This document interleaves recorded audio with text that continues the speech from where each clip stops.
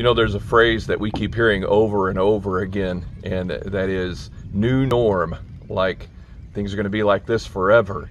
And I looked at Wanda when we heard this on the news the other day, and I said, no, it's it, it's not a new norm; it's a temporary norm.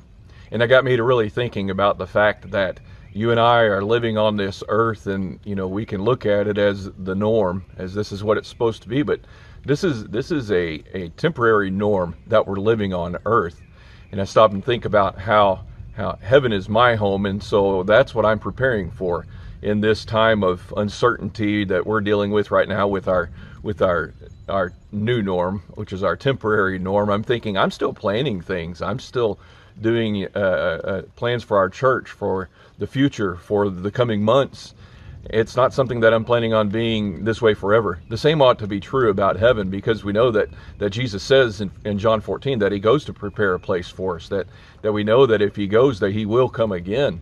And the assurance that we have in that, we're not we're not planning for this life to be all that's here. This is a temporary norm. We have a new norm that will be a norm then when we're in heaven. And I just rejoice with that thought that just kind of as a picture of what we're dealing with right now that this isn't permanent. This isn't this isn't going to last forever just like this life isn't going to last forever. Let's build up some treasures. Let's plan for what the real norm is going to be the the norm forever for all of eternity. Let's make sure that our planning is for that